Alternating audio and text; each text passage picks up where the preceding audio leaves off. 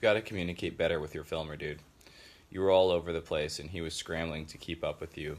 And um, you know, it's, it seems kind of like a paradox in your life because your grip tape screams, "Notice me," and yet you can't give basic instruction to the person who is there to notice you.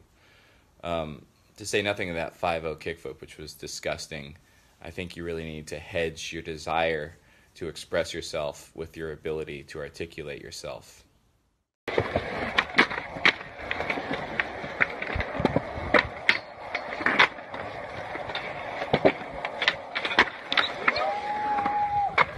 You don't want me to talk about Drake? Stop filming Drake lines, dude. Crooked grind into the bank is like him saying, coming off the last record, I'm getting 20 million off the record, just off these records. That's a record. Rhyming record with record four times. Easy trick. Uh, Smith 180, down a flat bar, sitting Gucci row like they say up in UNLV. Young rebel, young money, nothing you can tell me. And then finally, your half cab heel, which was the hardest one, was lately I've been feeling like I pierced a memento. I just set the bar. Rappers fall under it like a limbo. It's facile. It's easy, but it's true. You filmed a Tuscan leather line, dude.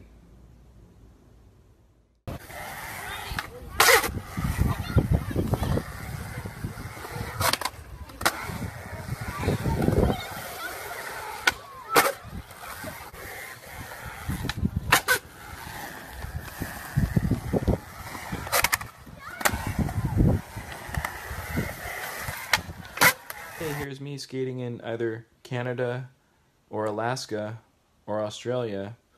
Wherever it is, this park is stupid, and I'm stupid because I did a back 270 and then a front 270 over the same hip in the same clip, and then a different one in a different clip. And now the person watching wants to kill himself because he never wants to see another 270 over a hip again because I did it so boring that it's played out forever. I just ruined two probably fun tricks with my boring clip. I'm the guy skating.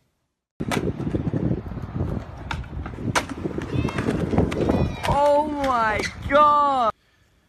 Stairs at a skate park are the most egregious waste of space and draining of resources that I can possibly imagine.